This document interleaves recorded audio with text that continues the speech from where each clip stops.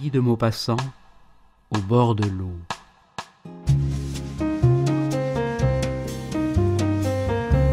Un lourd soleil tombait d'aplomb sur le lavoir.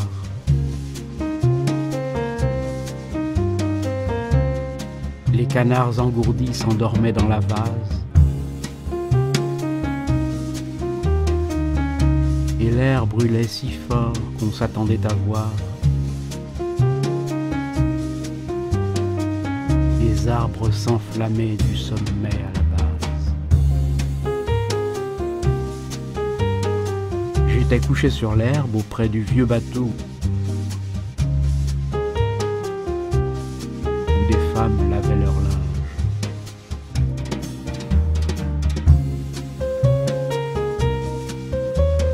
Des eaux grasses, des bulles de savon qui se crevaient bientôt, s'en allaient au courant, laissant de longues traces.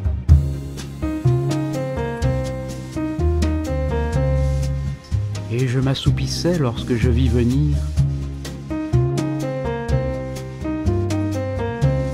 sous la grande lumière et la chaleur torride.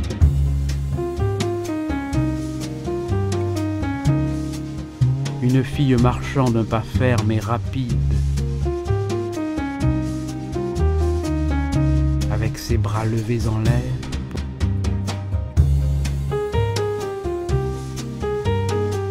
pour maintenir un fort paquet de linge au-dessus de sa tête.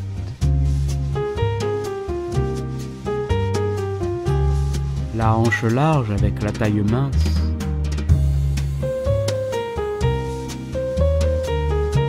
Faite ainsi qu'une Vénus de marbre, elle avançait très droite et sur ses reins un peu se balançait.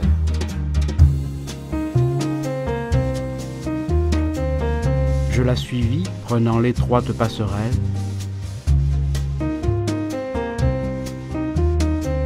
Jusqu'au seuil du lavoir où j'entrai derrière elle. Elle choisit sa place et dans un baquet d'eau, geste souple et fort, abattit son fardeau.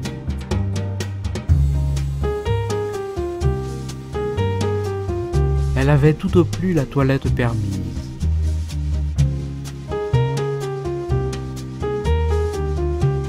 Elle lavait son linge. Et chaque mouvement des bras et de la hanche accusait nettement, le jupon collant et la mince chemise,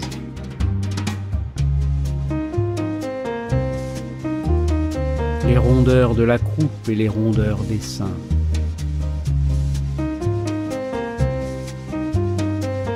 Elle travaillait dur, puis quand elle était lasse,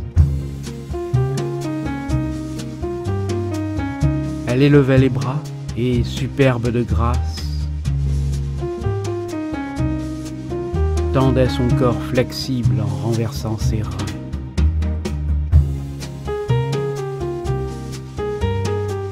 mais le puissant soleil faisait craquer les planches.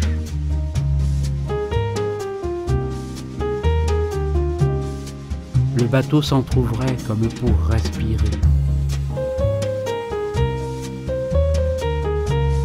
Les femmes haletaient, on voyait sous leurs manches la moiteur de leurs bras par places transpirées.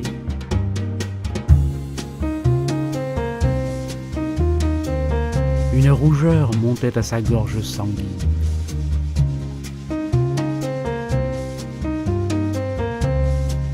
Elle fixa sur moi son regard effronté,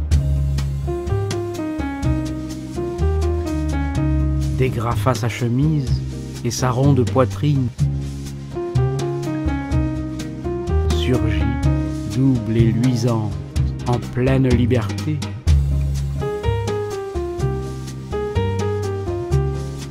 écarté au sommet et d'une ampleur solide. Elle battait alors son linge et chaque coup agitait par moments d'un soubresaut rapide. Les roses fleurs de chair qui se dressent au bout.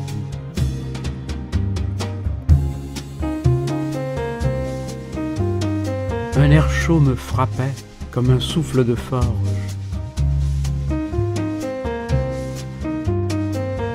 À chacun des soupirs qui soulevaient sa gorge.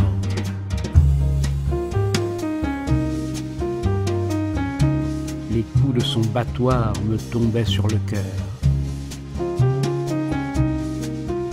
Elle me regardait d'un air un peu moqueur.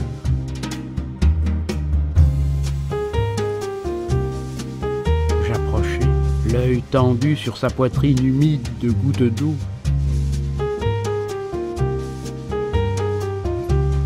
Si blanche et si tentante au baiser. Elle eut pitié de moi, me voyant très timide. M'aborda la première et se mit à causer.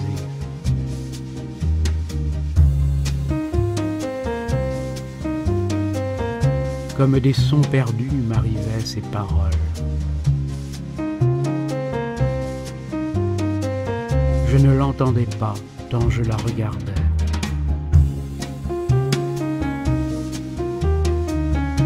Par sa robe entr'ouverte, au loin je me perdais,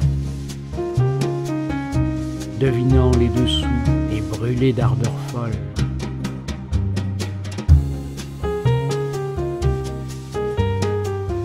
Puis, comme elle partait, elle me dit tout bas de me trouver le soir au bout de la prairie.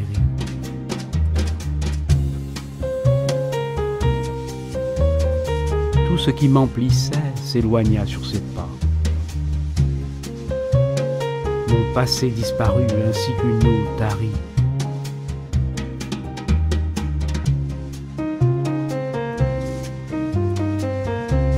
Pourtant j'étais joyeux.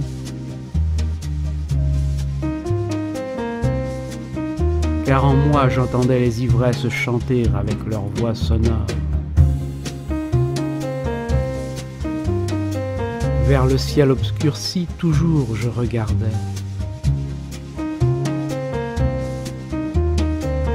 Et la nuit qui tombait me semblait une aurore.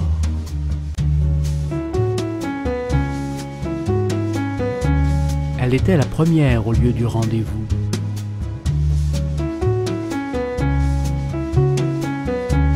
J'accourus auprès d'elle et me mis à genoux.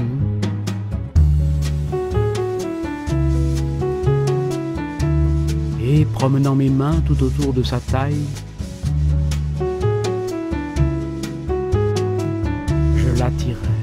mais elle aussitôt se leva.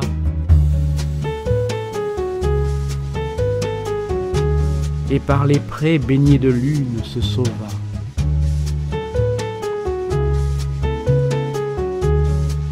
Enfin je l'atteignis, car dans une broussaille qu'elle ne voyait point, son pied fut arrêté.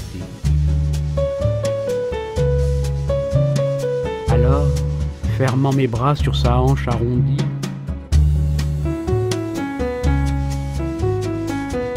auprès d'un arbre, au bord de l'eau, je l'emportai. Elle que j'avais vue impudique et hardie, était pâle et troublée et pleurait lentement.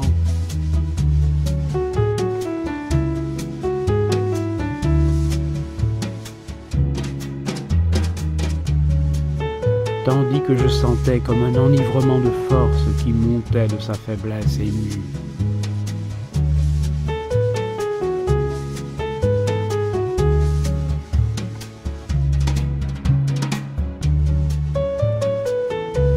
Quel est donc et d'où vient ce ferment qui remue les entrailles de l'homme à l'heure de l'amour? La lune illuminait les champs comme en plein jour.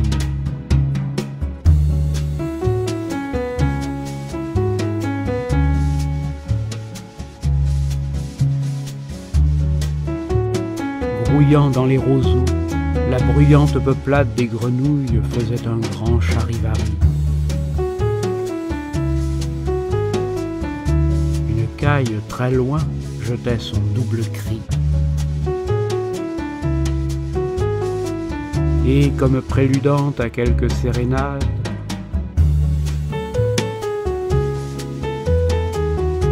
des oiseaux réveillés commençaient leur chanson.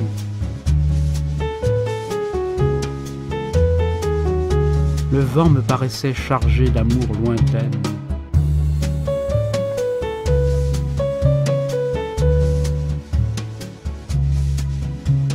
Alourdi de baisers, plein des chaudes haleines que l'on entend venir avec de longs frissons.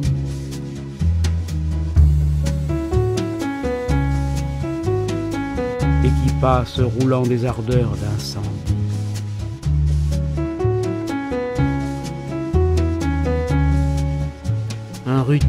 Tombait des brises attiédies. Et je pensais, combien sous le ciel infini, par cette douce nuit d'été, combien nous sommes.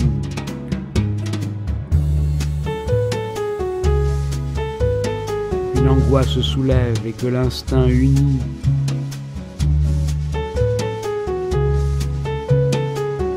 parmi les animaux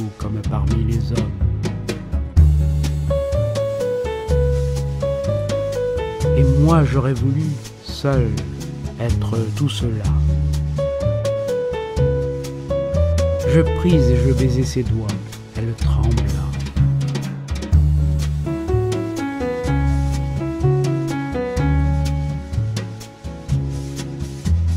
Ses mains fraîches sentaient une odeur de lavande et de thym dont son linge était tout embaumé.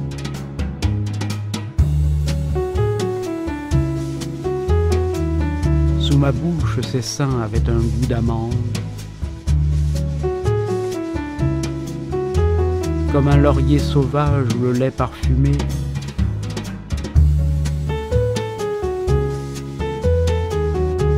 On boit dans la montagne aux mamelles des chèvres.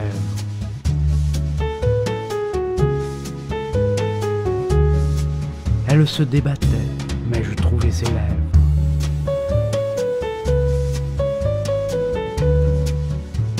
Ce fut un baiser long comme une éternité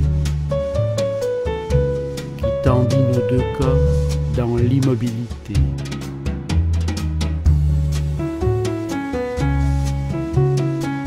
Elle se renversa, râlant sous ma caresse.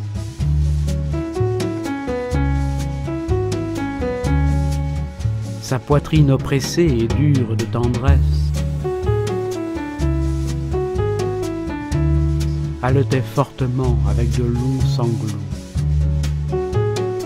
Sa joue était brûlante et ses yeux demi-clos.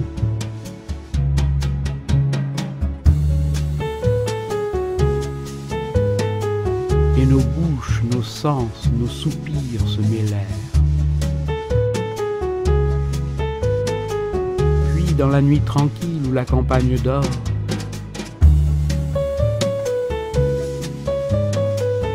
un cri d'amour monta, si terrible et si fort, que des oiseaux dans l'ombre effarés s'envolèrent.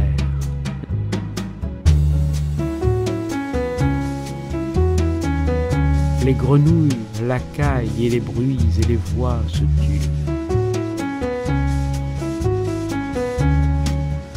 Un silence énorme emplit l'espace.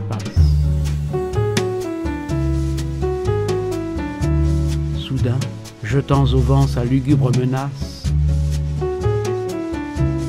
très loin derrière nous, un chien hurla trois fois.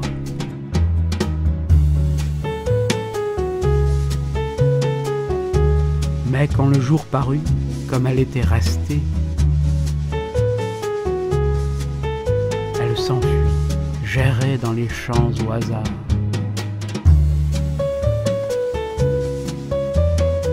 La senteur de sa peau me hantait. Son regard m'attachait comme une encre au fond du cœur jeté.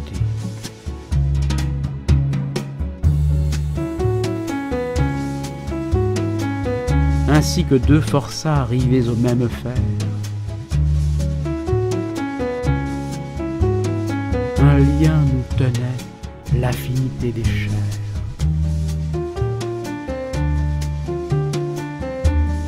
Pendant cinq mois entiers, chaque soir sur la rive, plein d'un emportement qui jamais ne faiblit. J'ai caressé sur l'herbe ainsi que dans un lit cette fille superbe, ignorante et lascive.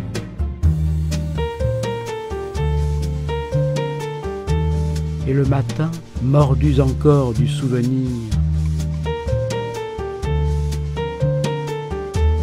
quoique tout alangui des baisers de la veille.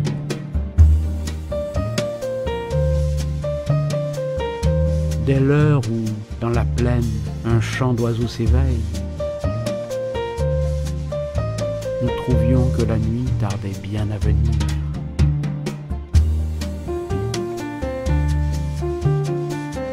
Quelquefois, oubliant que le jour dut éclore,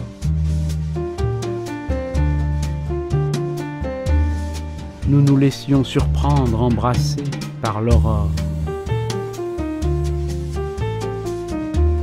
Vite nous revenions le long des clairs chemins, mes deux yeux dans ses yeux, ses deux mains dans mes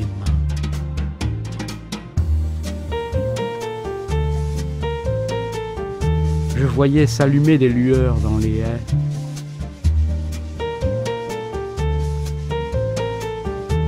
des troncs d'arbres soudain rougir comme des plaies. Sans songer qu'un soleil se levait quelque part. Et je croyais, sentant mon front baigné de flammes,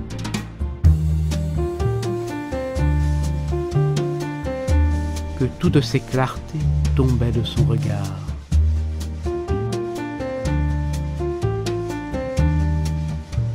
Elle allait au lavoir avec les autres femmes. Je la suivais, rempli d'attente et de désir. La regarder sans fin était mon seul plaisir.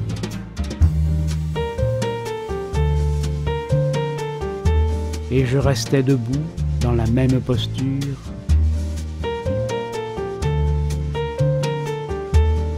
muré dans mon amour comme en une prison.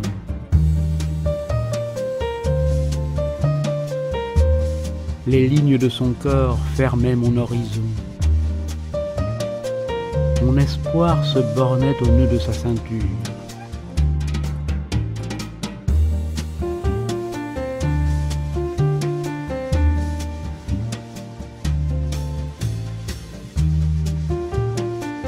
Je demeurais près d'elle, épiant le moment où quelque autre attirait la gaieté toujours prête. Je me penchais bien vite, elle tournait la tête. Nos bouches se touchaient, puis fuyaient brusquement.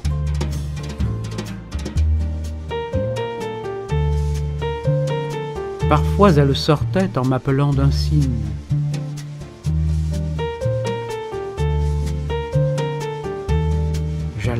Dans quelques champs de vigne ou sous quelques buissons qui nous cachaient aux yeux. Nous regardions s'aimer les bêtes accouplées. Quatre ailes qui portaient deux papillons joyeux.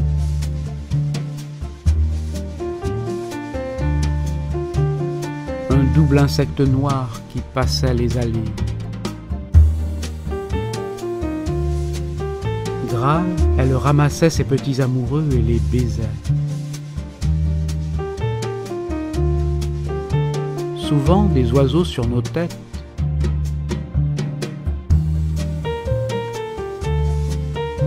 Se becquetaient sans peur.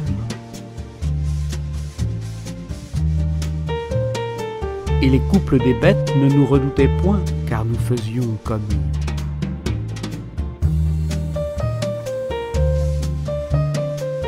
Puis le cœur tout plein d'elle, à cette heure tardive où j'attendais, guettant les détours de la rive,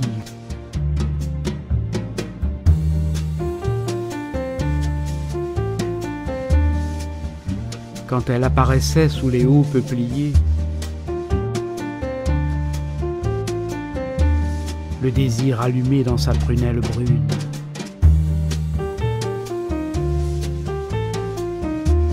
Sa jupe balayant tous les rayons de lune, couchés entre chaque arbre au travers des sentiers.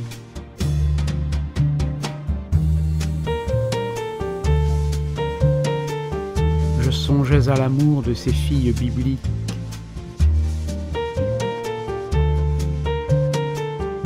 si belle qu'en ces temps lointains on a pu voir.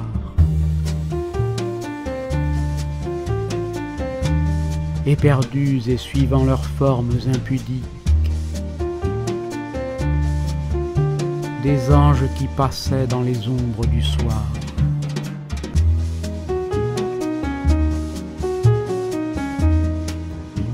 Un jour que le patron dormait devant la porte,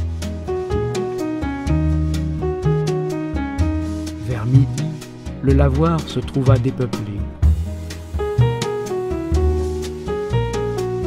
Le sol brûlant fumait comme un bœuf essoufflé.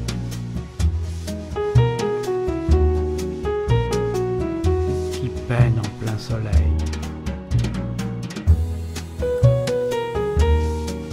Mais je trouvais moins forte cette chaleur du ciel que celle de mes sens.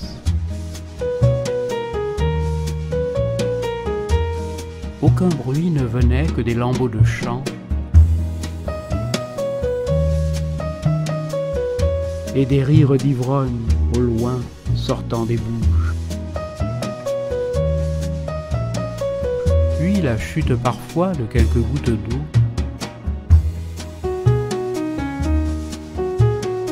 tombant on ne sait d'où, sueur du vieux bateau. Or ses lèvres brillaient comme des charbons rouges. Nous jaillirent soudain des crises de baisers. Ainsi que d'un brasier partent des étincelles.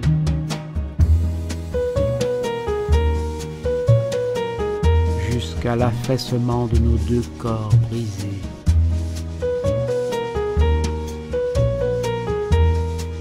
On n'entendait plus rien hormis les sauterelles.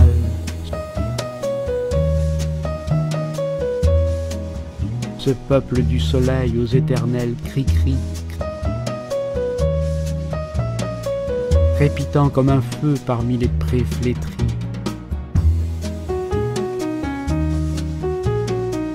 Et nous nous regardions, étonnés, immobiles,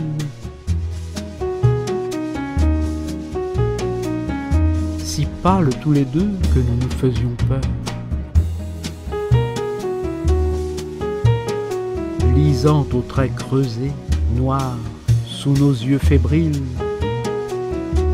que nous étions frappés de l'amour dont on meurt.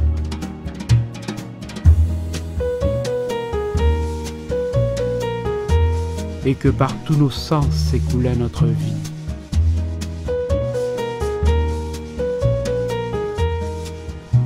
Nous nous sommes quittés en nous disant tout bas qu'au bord de l'eau le soir, nous ne viendrions pas.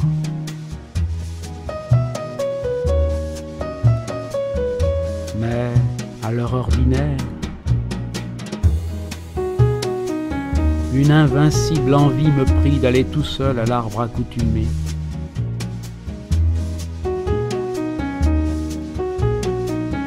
Rêver aux voluptés de ce corps tant aimé.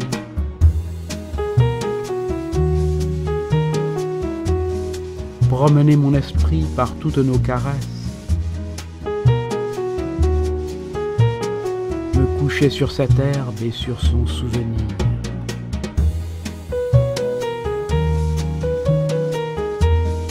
Quand j'approchais, grisé des anciennes ivresses, était là, debout, me regardant venir. Depuis lors, envahi par une fièvre étrange, nous hâtons sans répit cet amour qui nous mange.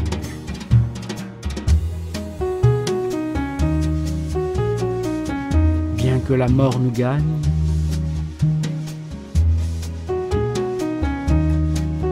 besoin plus puissant nous travaille et nous force à mêler notre sang. Nos ardeurs ne sont point prudentes ni peureuses. L'effroi ne trouble pas nos regards embrasés.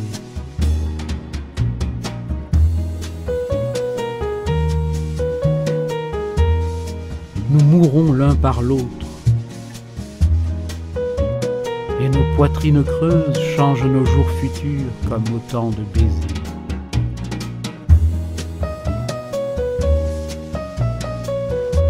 Nous ne parlons jamais. Auprès de cette femme, il n'est qu'un cri d'amour, celui du cerf qui brame.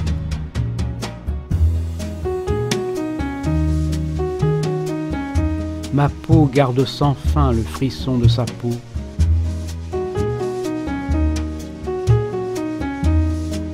M'emplit d'un désir toujours âpre et nouveau. Et si ma bouche a soif, ce n'est que de sa bouche. Mon ardeur s'exaspère et ma force s'abat dans cet accouplement mortel comme un combat.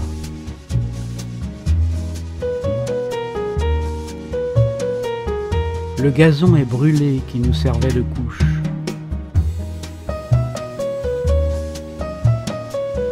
Et désignant l'endroit du retour continu, la marque de nos corps est entrée au sol nu.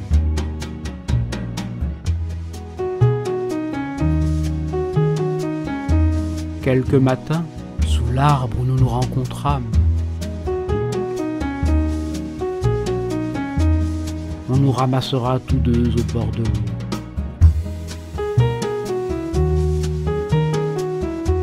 Nous serons rapportés au fond d'un lourd bateau, nous embrassant encore aux secousses des rames.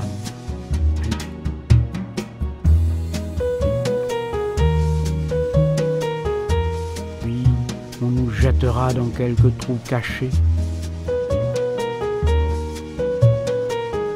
comme fait aux gens morts en état de péché.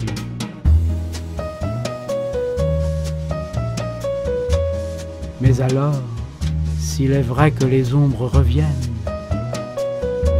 nous reviendrons le soir sous les hauts peupliers.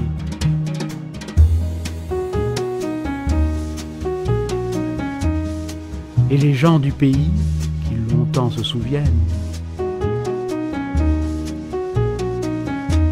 en nous voyant passer l'un à l'autre liés.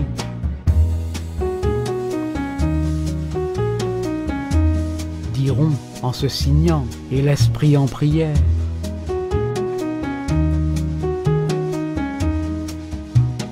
Voilà le mort d'amour avec sa lavandière.